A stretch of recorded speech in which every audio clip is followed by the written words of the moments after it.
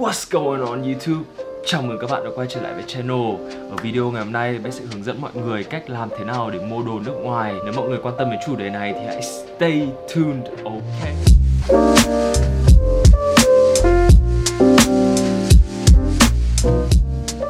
Nay là một ngày chủ nhật, khá là mưa gió. Ngày hôm qua khi từ nhà mẹ Ben về Ben có đọc khá nhiều comment của mọi người. Thắc mắc về công việc chính của Ben là gì? Tuy Ben chỉ có thể trả lời với mọi người là công việc chính của Ben hiện tại là một YouTuber, Nhưng ngoài YouTube ra thì Ben cũng có rất là nhiều những business, Những dự án và cả những dịch vụ mà Ben đặt rất nhiều tâm huyết vào nữa. Nếu mọi người là những cựu subscriber, chắc là mọi người không còn lạ gì với Gate84 nữa. Gate84 là một dịch vụ mà Ben và Lùn đã thành lập nên vào năm 2017 Và một lát nữa Ben sẽ nói sâu hơn một chút, chi tiết hơn một chút về dịch vụ của Gate84 Bây giờ thì chúng ta sẽ bắt đầu lập tức vào video ok? Ok, cách đầu tiên mà chúng ta có thể mua hàng được ở nước ngoài đấy chính là vào thẳng trang web Chọn món đồ mà mọi người muốn mua. Chẳng hạn như bé sẽ chọn chiếc quần uh, cargo của Minimal ở đây Chọn size, add to cart, check out, điền hết tất cả thông tin của mình và chọn địa chỉ ship là về Việt Nam Sau đấy như mọi người có thể thấy ở đây thì Minimal họ sử dụng ờ, uh, DHL DHL nghĩa là mọi người sẽ cần phải trả 64 đô là tiền giá bán lẻ của chiếc quần cộng với lại 20 đô ship nữa để mà gửi về đến Việt Nam. Các hãng khác như ASOS hay những hãng lớn khác cũng đều có lựa chọn để mọi người có thể mua đồ trực tiếp từ website và gửi thẳng về đến Việt Nam. Đây là cách mua hàng trực tiếp nhất từ chính nhà sản xuất và các nhà phân phối cũng như bất kỳ mặt hàng online nào khác thì bạn chỉ cần click vào mua là sẽ có người ship đến cho bạn. Tuy nhiên, bé sẽ nói đến sự bất cập, sự khác biệt giữa việc mua hàng ở nước ngoài và mua hàng ở trong nước. Điểm trừ đầu tiên đấy chính là về vấn đề thời gian vì là hàng hóa nước ngoài thế nên sẽ mất tương đối thời gian lưu kho để giải quyết cho gói hàng của bạn. Gói hàng có thể mất lên đến 1 2 tháng, 3 4 tháng thậm chí là nửa năm một năm thì mới có thể nhận được đồ tùy thuộc cả vào độ nhạy cảm của món hàng nữa. Chẳng hạn nếu nếu mà bạn mua tinh dầu vết thì đấy cũng là một món hàng khá là nhạy cảm và sẽ mất nhiều thời gian để làm thủ tục hơn là mua quần áo hoặc nếu mà bạn gửi đúng vào dịp lễ Tết ngày mùng 2 tháng 9 hay vào những đợt Tết nguyên đán Tết ta thì chắc chắn hàng hóa của bạn sẽ bị kẹt lại để chờ giải quyết. Điểm trừ thứ hai đấy chính là thủ tục bởi vì bạn là một cá nhân mua đồ thế nên tất cả những thủ tục liên quan đến các giấy tờ hải quan, giấy tờ thuế, khai báo hàng hóa và giấy tờ xuất nhập khẩu bạn đều cần phải tự lo và nếu bạn mù tịt và không có một tí kiến thức nào về cái việc này thì chắc chắn bạn sẽ phải trả ra một số tiền để bôi trơn. Ngoài ra, bạn cũng phải đóng thuế cao hơn so với cả một doanh nghiệp, đặc biệt khi hàng hóa của bạn là những hàng hóa tiêu dùng. Bởi vì xét về một khía cạnh khả quan thì tất cả những người có khả năng mua đồ nước ngoài cũng đều là những người mà có những khoản thu nhập khá khá rồi. Thế nên chắc chắn khi mà bạn nhận được một món đồ thì bạn cũng đã phải trả tối thiểu là 30 đến 50% giá trị của món đồ đấy. Một ví dụ điển hình là trước đây Ben có mua đồ qua Farfetch và bởi vì Farfetch là ở bên Anh, thế nên Ben quyết định thử mua món đồ ở trên Farfetch và gửi thẳng về Việt Nam. Đợt đấy Ben mua một đôi giày khoảng tầm 450 đô, một đôi giày sale của SLP và ship thẳng từ Anh về Hà Nội với giá là 23 đô tiền ship lúc đấy bởi vì Ben không muốn mua món đồ ở bên Anh và sau đấy chuyển sang bên Mỹ. Và từ bên Mỹ mà lại chuyển về Việt Nam bởi vì Ben nghĩ là nếu mà mua như vậy thì sẽ bị đắt hơn. Nhưng mà không hề. 3 tuần sau Ben nhận được một cuộc điện thoại từ ờ, bên phía hải quan ở bên ờ, kho hàng sân bay nội bài ở bên cargo. Họ cho mình biết là món đồ đã đang được giữ ở hải quan ở sân bay rồi. Và bây giờ Ben cần lên để nhận gói hàng và làm các thủ tục hải quan. Dĩ nhiên là ngay lập tức vào buổi chiều ngày hôm đấy thì Ben phóng lên sân bay. Sau đấy thì Ben lên kho hàng của sân bay ngồi đợi chắc phải khoảng tầm uh, gần một tiếng.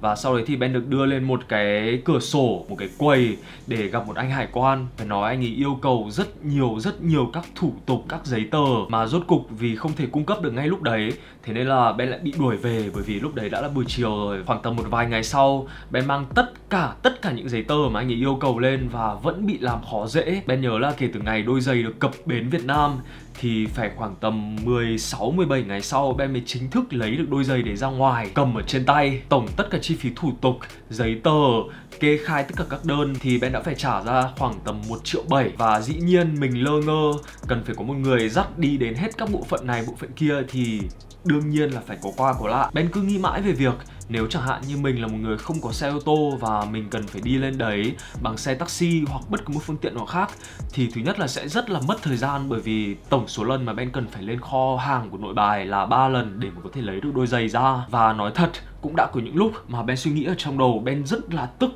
và Ben bảo là thôi, chắc là mình bỏ luôn đôi giày, vứt luôn đôi giày. Nhưng mà thật sự trong lòng của mình cảm thấy quá tiếc và quá tức. Thế nên ngay lập tức, bây giờ Ben sẽ nói đến cách thứ hai mà mọi người có thể mua đồ từ nước ngoài về Việt Nam. Và Ben thẳng thắn là Ben ủng hộ và cổ suý cho việc này hơn rất nhiều việc mua hàng trực tiếp. Đấy chính là sử dụng một dịch vụ order hoặc là nhờ tiếp viên hàng không sách tay về. Đây không phải là một hình thức quá xa lạ và một phát minh mới mẻ nào cả. Order là một cách nói lóng cho từ freight forwarding, dịch sát nghĩa là chuyển tiếp hàng hóa. Thay vì bạn click vào trực tiếp để mua món đồ đấy thì bạn tìm đến một dịch vụ gửi link sản phẩm yêu cầu và sau đấy họ sẽ báo giá cho bạn. Tất cả những gì bạn cần đấy là gật đầu hoặc là lắc đầu sau đấy chốt đơn hoặc là hủy đơn. Các dịch vụ order hàng Mỹ thường có thời gian là vào khoảng tầm 2 tuần đến một tháng. Hàng hóa châu Âu và Nhật thì nhanh hơn một chút và hàng hóa các nước như Trung Quốc, Thái Lan, Hàn Quốc, Đài Loan thì có thời gian tương đối ngắn. Vào năm 2017 khi nhìn thấy tình trạng này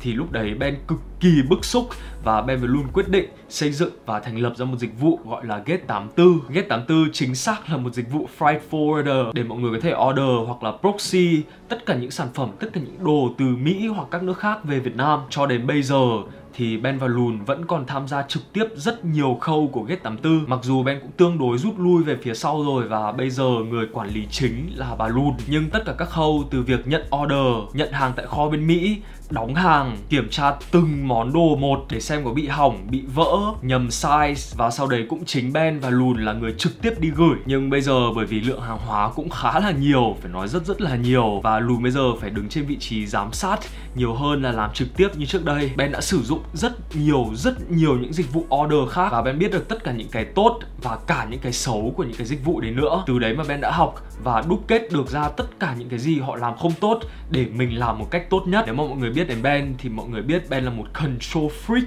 Ben là một người cực kỳ cực kỳ cầu toàn. Thế nên tất cả các khâu của Gate từ trước đến nay, Trước thời điểm khi mà Ben quá bận như bây giờ Vào thời điểm khi mà Gate chưa có một quy mô, Một hệ thống hóa như bây giờ, Thì tất tần tật các khâu là do Ben và Lùn đảm nhận và phụ trách. Dĩ nhiên, sau 2 năm thì tất cả mọi thứ của Gate đều vẫn rất là hệ thống hóa, Nhưng mà Ben và Lùn bất cứ khi nào mà có thời gian Để có thể làm trực tiếp được bất kỳ một việc gì Thì Ben và Lùn sẽ làm. Ben muốn nói một cách công bằng và thật lòng với mọi người là ngoài Get ra, Ben nghĩ là cũng còn rất nhiều những dịch vụ khác, làm những cái business, làm việc order tương tự như này. Và trước đây Ben cũng đã sử dụng những dịch vụ mà họ tính theo công thức là chỉ tính theo cân. Có nghĩa là chẳng hạn một chai lotion thì họ sẽ tính cân của chai lotion này cộng với lại 5% giá trị mua của cái chai lotion này để mà order về đến Việt Nam. Hoặc cũng có những bên họ chỉ lấy cân cước, chẳng hạn như lấy 15 đô một cân 12 13 đô một cân gì đấy. Nhưng mà họ tuyệt đối tuyệt đối không nhận order những món đồ quá nhỏ, chẳng hạn như một cái bật lửa,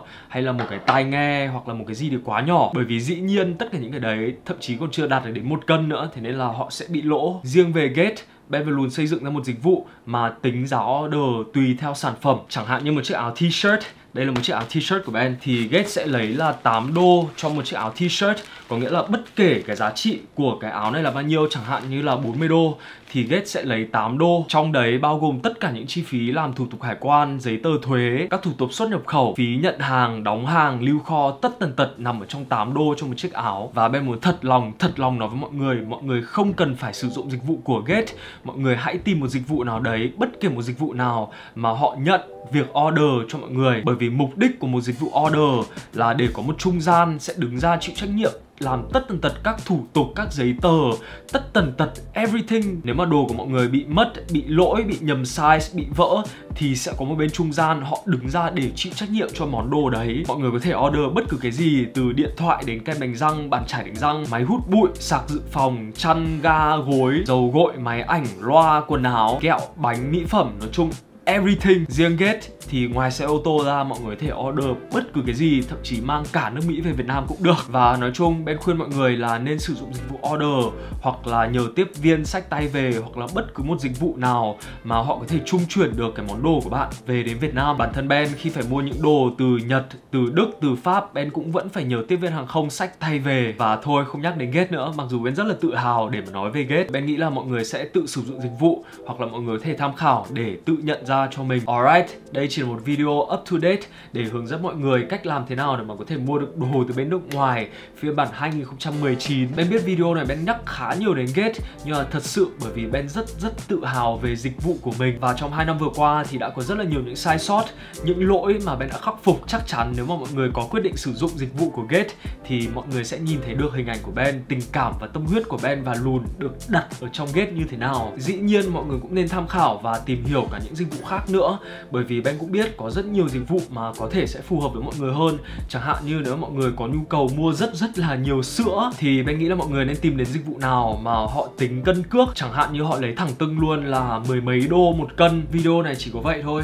Ben muốn share với các mọi người về một góc của cuộc sống của Ben, bởi vì mọi người cũng đã thắc mắc rất là nhiều là công việc chính của Ben là gì. Và Ben nhắc đi nhắc lại, nhắc đi nhắc lại công việc chính của Ben là một youtuber. Ít nhất vào trong thời điểm này thì Ben dành toàn bộ tâm huyết và thời gian của mình để làm YouTube để mang đến những content hấp dẫn thú vị và kể cho mọi người câu chuyện của Ben. Video này chỉ có vậy thôi, nếu Ben thiếu bất cứ một cái gì thì Ben sẽ bổ sung ở những episode lần sau. Ngày mai thì Ben và Lùn có một chuyến đi chơi và chắc là Ben sẽ cầm máy theo để vlog cho mọi người Thế nên là cũng sẽ có thể đưa mọi người đi theo du lịch và trải nghiệm những cái rất là mới cùng cả Ben và Lùn, ok? Hẹn gặp mọi người ở episode ngày mai. Cảm ơn tất cả tất cả mọi người đã theo dõi cái episode lần này. Hy vọng Ben có thể phần nào giải đáp được thắc mắc của mọi người về công việc chính của Ben là gì. Mặc dù Ben có rất là nhiều những nguồn thu nhập khác nữa, Mà Ben nghĩ là trong tương lai Ben cũng sẽ chia sẻ với các mọi người thôi, Bởi vì Ben cũng muốn phơi bày với mọi người hầu hết, Không phải tất cả, nhưng mà hầu hết tất cả những gì mà đã hình thành nên con người của Ben bây giờ, Ok?